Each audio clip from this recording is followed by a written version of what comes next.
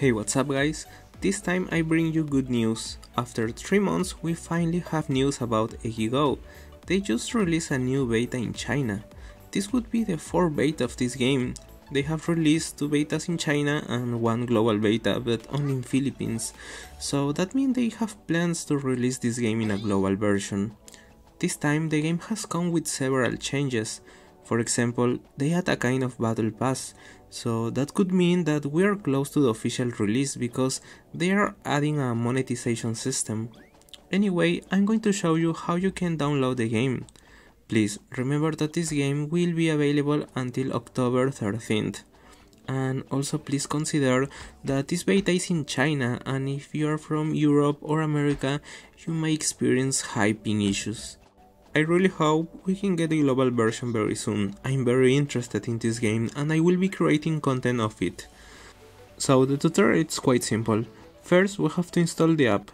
You will find all the links in the description. Remember that you must have the TapTap store. So we enter to the game and we must touch on the little box over here. And then we press on the blue option.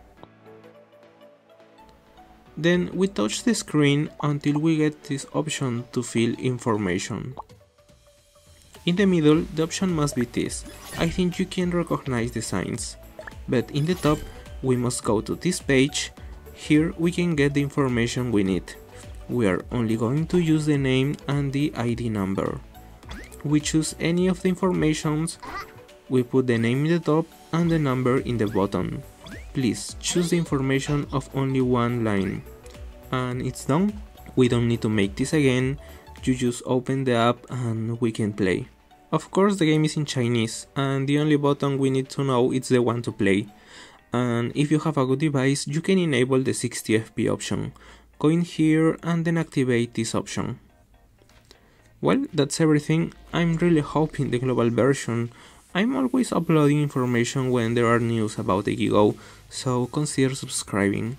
I'm sure the official release is closer. Enjoy the gameplay and bye bye.